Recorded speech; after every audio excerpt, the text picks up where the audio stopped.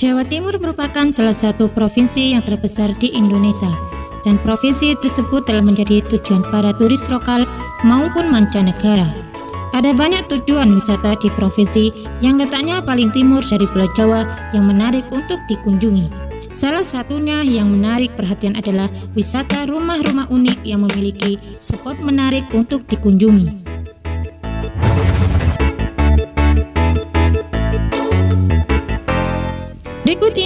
Tempat wisata yang ada di Jawa Timur.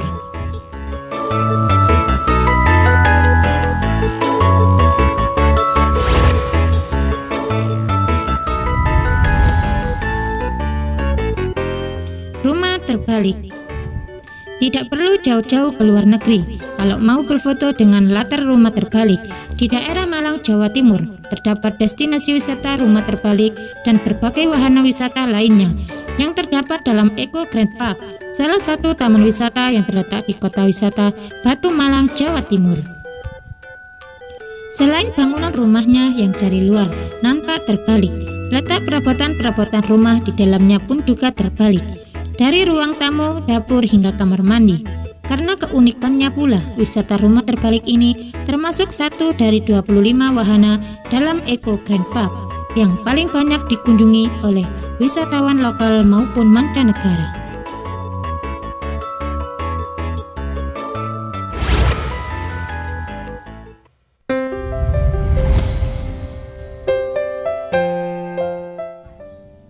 Rumah Hobbit Kota Malang memiliki banyak objek wisata yang tak ada habis-habisnya untuk dikagumi. Salah satu objek wisata rumah unik lainnya yang terdapat di Malang adalah Rumah Hobbit yang berada dalam kawasan Kota Batu.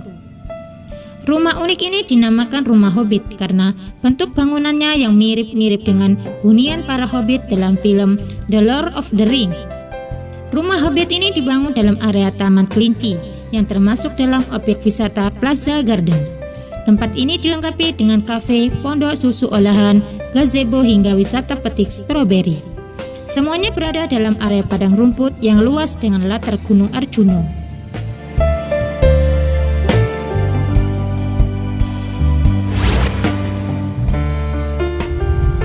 Rumah Pohon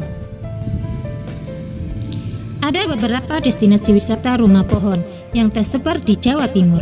Salah satunya rumah pohon Oma Kayu Paralayang yang pertama kali dibuka pada bulan Februari 2014. Menariknya, rumah pohon Oma Kayu Paralayang didirikan di atas bukit dengan ketinggian 1340. Pemandangan alamnya tentu indah dan udaranya pun bersih dan sejuk. Selain memiliki banyak spot foto yang sayang untuk dilewatkan, Rumah pohon ini juga dilengkapi dengan berbagai perabotan sehingga pengunjung bisa menginap seperti di rumah sendiri. Jangan khawatir tidak kebagian tempatnya, karena ada enam rumah pohon di tempat ini yang masing-masingnya dapat menampung tiga orang.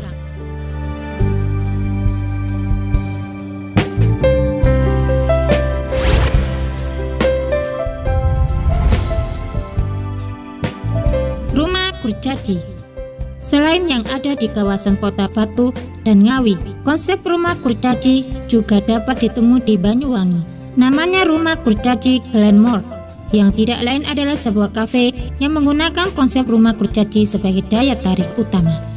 Tempat ini memiliki banyak spot foto yang keren dan menarik.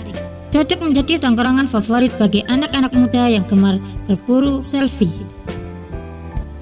Lokasinya berada di hamparan taman hijau dan suasananya yang sejuk sangat pas untuk bersantai.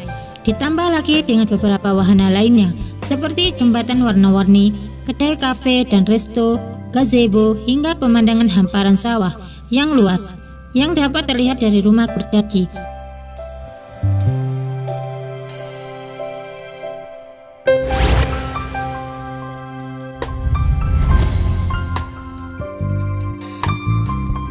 rumah warna-warni.